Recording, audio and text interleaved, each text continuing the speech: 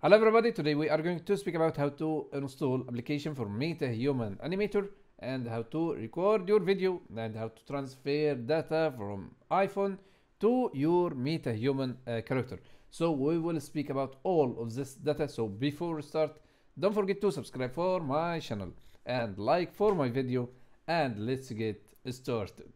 So if you look here, Apple live link face, right? Live link. Okay.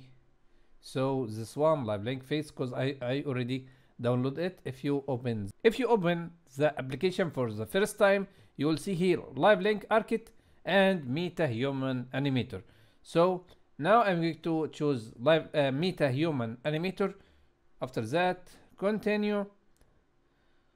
So what I'm going to if you go to setting you will see meta human animator and target frame rate. Maybe uh, you can choose 30 uh, and uh, if you want to record button uh, preview dips you can make it uh, off or as you like. Uh, video quality maybe you can make it medium.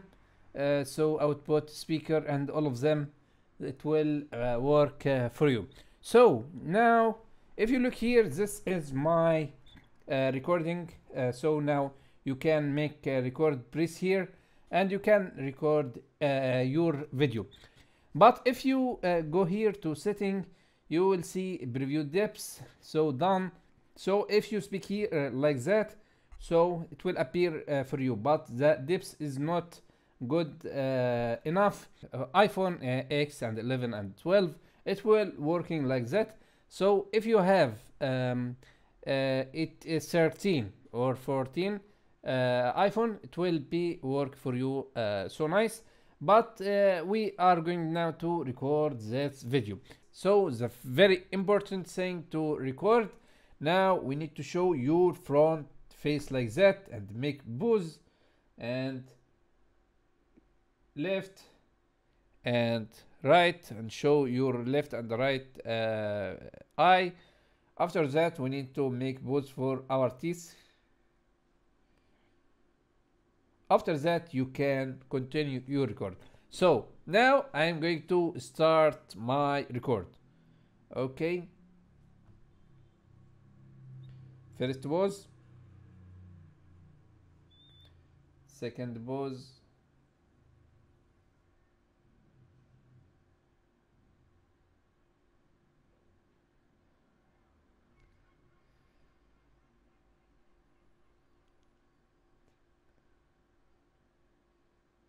After that, we need to start our record. Hello everybody today.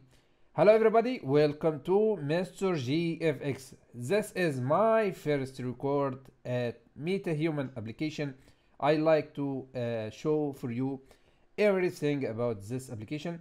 So before we start, don't forget to subscribe for my channel and like for my video and let's get started.